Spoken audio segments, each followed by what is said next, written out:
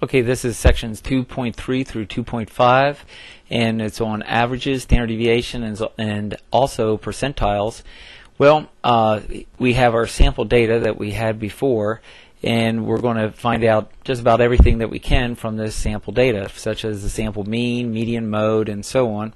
And if we put this sample data into our Excel sheet under raw data, once we get that data in there, we automatically know what the mean is, and that's the average, which is where you add up all your scores and you divide by the number of scores. So the average of these uh, values are is 51.4.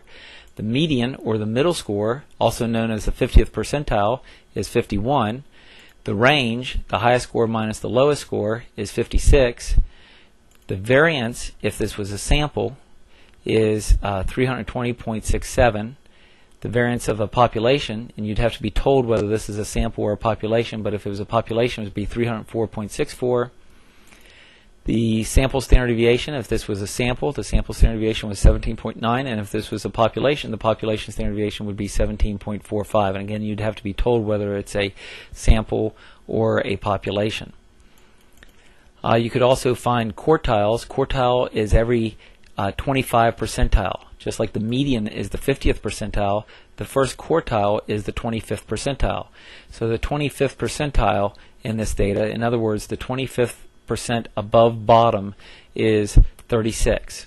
The third quartile, think of three quarters, well that's 75%. The third quartile is 66.25. So that's that's the score that you need to have 75% of the people score below you. This is the lowest score, uh, sorry, highest score is uh, 78 and the lowest score is 72. And then if you want any percentile for this raw data, you just put it in here. Like for example, if we wanted to get the 80th percentile, you would just type in 0.8 here, and that gives you the percentile for that raw data.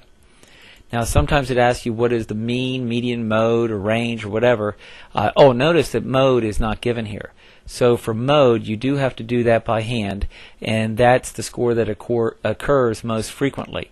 So if you look through these uh, values here, we would see that 50 comes up a couple times, that comes up two times, 33 comes up two times, and I believe another value comes up two times, like 77. So since there's a tie for the three-way tie for the number of times that scores come up, this thing would have uh, this the this data set would have three modes. And if you check that to our values that we have here, like our mean, our mode, there's three modes. That again you have to do by hand. And um, there's the formula for sample standard deviation and sample variance. And we needed to figure those out, so we would have used sample on these because it says this is sample data. So that's why on this Excel sheet the values we would use if it says what is this for this sample data, what is the standard deviation, we would use sample standard deviation. If it said what is the variance for this sample, it's 320. Now, we also have uh, other things calculated here. Uh, like here is more data here, and it says, let's say this was population. Well, if this was population data, that doesn't affect the mean or the median. That still turns out to be the same numbers, and the mode would be, still be the same, but the population standard deviation and variance formula are slightly changed, which make these the values that they are. And if we go over and look at uh, the value for population standard deviation, should be 17.45. And there it is, 17.45. And the other values line up the way they were.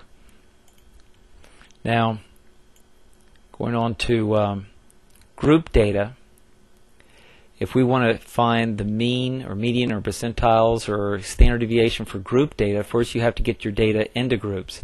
So we automatically have our data in groups here, and here it is in the five groups. And again, you can specify the groups here, the number number of decimal places, would, which would be zero on this data since it's whole numbers. Then just click the copy button here, and it copies it over to your group data area. At this point, automatically your mean for the table is calculated, the standard deviation for your table is calculated, and if you wanted to find out the median, you would just put that percentile in here. The median, again, is equal to the 50th percentile, so I would just type in 0.5 right here, and I would get the median for the group data to be 51.5.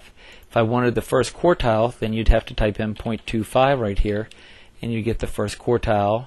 If you wanted the third quartile, type in 0.75, and you get the third quartile. Deciles are every 10 percentiles.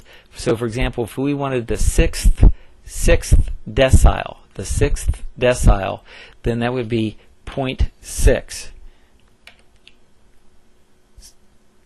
Because the sixth decile is equal to the 60th percentile. And that value then would be 56.06, represents the 60th percentile. Or the third decile would be the 30th percentile, which is 40.3. And so, really, that's everything that you need to know from Chapter 2 then.